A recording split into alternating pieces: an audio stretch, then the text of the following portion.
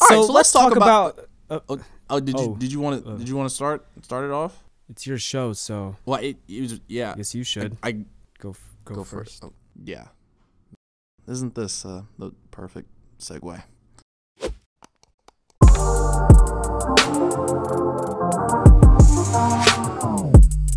I think it's safe to say that over time, Ivan and I have become quite the awkward conversation connoisseurs. Too bad all this knowledge of social awkwardness is mostly uh self-experience. Okay, prime example. Like when you're trying to have a conversation with someone new, but your brain decides to function at the same cognitive level as used couch cushion. Or like when you accidentally make eye contact with that one person you kinda know, and then just immediately break stare and pretend to check your phone or something. because that that's the rule. Silently agreeing that this whole social transaction just never happened. At all. Well, our awkward friends, believe it or not, these situations are needed. Okay, nah, but like for real, for these points, am I am I going Jeez, first, or you want to? Dude, I, I don't know. Just just go first. You sure? I, okay, I'm a, I'm a, Yeah, yeah, just okay. just just go. So consider awkward moments like the thin film that separates your lean cuisine of an understanding of a situation from the actual situation at hand. It's knowing societal norms and then burying them in your parents' backyard along with the rest of your dignity. And like the worst Spider-Man ever, it's not until after the situation has become all sorts of bad that you're actually alerted that things have gone way deep south. And then there it is. It's awkward.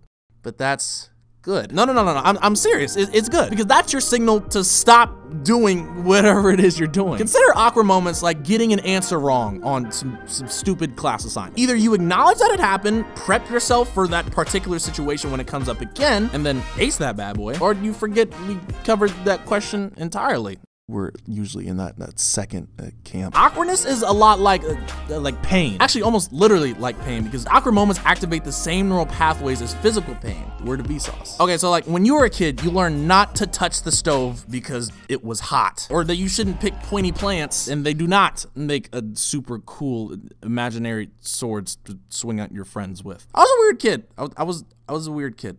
Okay, but look at me today. No longer touching stoves and making weird pointy swords because it was weird and wrong, and I learned that from the situation. Just like how you can learn from awkward ones. And I'm not I'm not saying all awkward moments are avoidable. I wish. But they make you realize how not to go about certain things during an interaction. You just need to learn and then adapt. All right, so on to point number two. Being awkward is common, and you're not as awkward as you think, so it's really not a bad thing. Everybody's awkward. Even the most confident people out there have had moments where all knowledge of normal human interaction just goes right out the window. But Ivan, I hear you ask from the other side of your computer, how would you know everyone goes through the same awkward garbage I do? Uh, because we're only human, and it's basically wired into us. Uh, sorry if you were expecting a more profound or scientific explanation, but if you really think about it, people do weird and awkward stuff on the daily. Even celebrities, the people you'd expect to be the most socially adept out there, have had their moments of just. uh, Extreme cringe. I mean, we get it. A lot of awkward situations seem to stem from social anxiety or just the idea that all eyes are on you. But what people don't realize is that they're not the center of attention, and whatever awkward they do isn't as big of a deal as they originally thought. So don't sweat it, buddy. That barista behind the counter, totally not even gonna remember the time you stuttered trying to order one of those long-winded Italian coffees. The damn girl couldn't even spell your name right, you dumb hipster. But uh, let's face it, this whole interaction probably still gonna keep you up at night regardless. Anyways, the point I'm trying to get across is you're awkward, but so is everybody else, and nobody really cares. Everyone's really just too busy worrying about their own social mishaps to even notice yours. It's like we're all in our own little awkward bubbles, just festering away. Man, ain't that poetic. And there you have it. Awkwardness isn't that bad. And really, it all just comes down to learning from your mistakes and not stressing about them too much. You're awkward, and uh, that's okay. But uh, hey, that's just our opinion. So let's ask the public.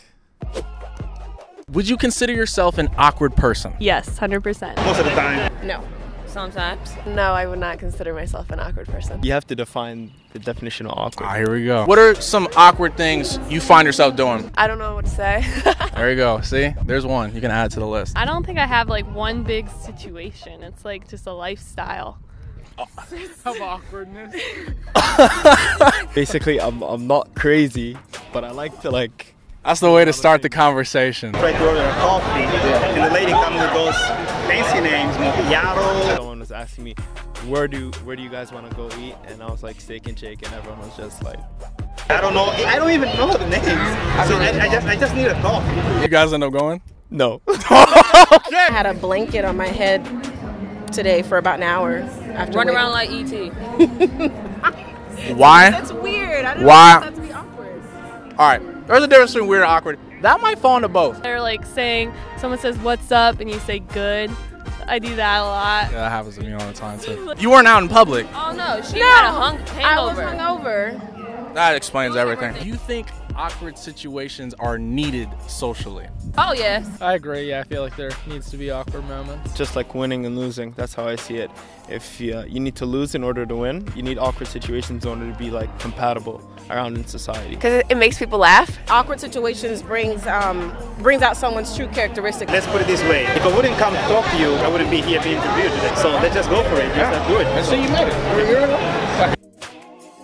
Yo, what is up, guys? Big shout out to Ivan Animated for being in this video. Uh, it was a it was a great experience. It was so cool to have him on. If you guys liked that collab, let me know because I'm thinking about doing more collabs like that in the future. So please. And if you liked the video, drop a like and turn on notifications so I feel affirmed uh, whenever I post a video. Um, I'm looking into doing some new stuff in the future. I'll get into it probably in like an update video maybe. But all right, uh, thanks for watching. Make sure you like, share, subscribe. I'm out.